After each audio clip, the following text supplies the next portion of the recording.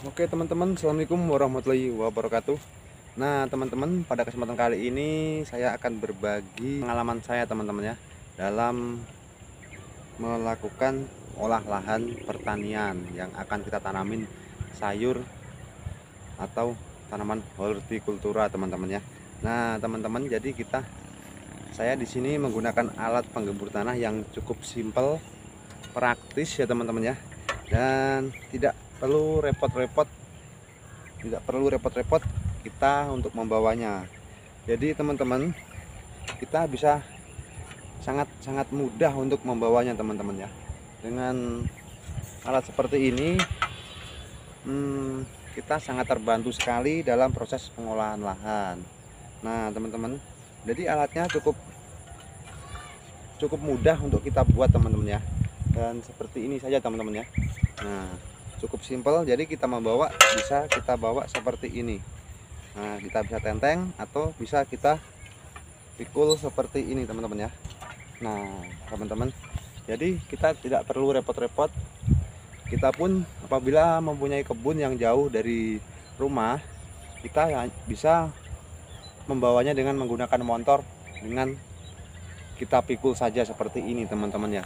Cukup-cukup simpel sederhana tapi sangat efektif untuk menggemburkan tanah begitu ya teman-teman ya. Nah teman-teman jadi alat ini bisa kita bawa ke mana ke mana saja. Nah siapa tahu teman-teman mempunyai lahan pertanian yang ada di seberang sungai atau di daerah yang tidak bisa ditempuh menggunakan kendaraan motor atau kendaraan lain. Jadi sangat-sangat saya sarankan buat teman-teman untuk mempunyai alat penggembur tanah yang seperti saya miliki teman-teman ya. Karena cara kerjanya sangat-sangat luar biasa ya teman-teman ya. Cara kerjanya cukup lumayan sangat membantu kita dalam proses pengolahan lahan.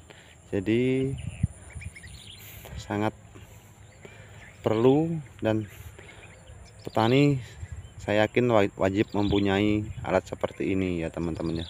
Nah teman-teman jadi saya akan selalu mempromosikan alat penggembur tanah seperti ini ya teman-teman ya. Nah jadi alat ini sangat perlu kita miliki.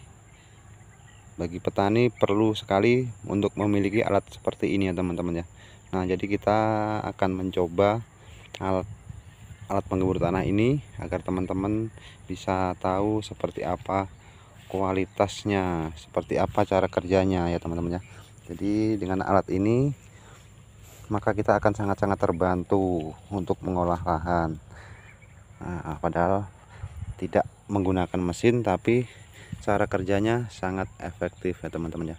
Dan kita akan mencobanya di tanah yang keras seperti ini teman-teman ya. Ini adalah parit bedengan yang sering dilalui oleh teman saya. Jadi sering dilewati teman saya. Jadi tanahnya ini lumayan keras teman-teman ya. Jadi kita akan mencobanya. Nah teman-teman jadi seperti ini ya teman-teman ya. Kita tidak perlu capek-capek menggunakan cangkul. Jadi kita tinggal mengeruk dengan cangkul apabila sudah kita gemburkan dengan alat ini ya. Begitu teman-teman ya sangat-sangat sekali mempermudah kita dalam olah lahan pertanian. Jadi seperti itu teman-teman ya. Alatnya cukup simple dan mudah kita gunakan. Nah teman-teman jadi hasil kerjanya lumayan dalam teman-teman ya. Lumayan dalam dan sudah kita sesuaikan dengan hmm, kemampuan atau jarak akar teman-teman ya. Kita sesuaikan dengan akar tanaman. Ya jadi seperti apa dan sejauh apa akar tanaman menembus ke dalam tanah jadi kita sesuaikan teman-teman ya. Nah teman-teman hmm, mungkin lain kali akan kita buatkan tutorialnya atau penjelasannya tentang pembuatan alat penggebur tanah ini teman-teman ya. Supaya teman-teman nanti lebih tahu jadi seperti apa kira-kira nanti lebih enaknya membuatnya dan seperti apa cara membuatnya agar, agar nantinya bisa lebih enak untuk kita gunakan. Jadi teman-teman jangan lupa subscribe jangan lupa like dan subscribe teman-teman ya untuk mendukung channel ini. Dan siapa tahu nanti kami bisa memberikan video-video yang bisa bermanfaat untuk teman-teman semua. Oke teman-teman. Seperti yang teman-teman lihat itu adalah nah jadi kita tidak perlu repot-repot menyangkul dengan cara cangkul tok. Jadi kita lebih enak menggunakan alat seperti ini teman-teman ya. Oke teman-teman semoga bermanfaat. Terima kasih sudah menyimak video ini sampai selesai. Saya ucapkan Assalamualaikum warahmatullahi wabarakatuh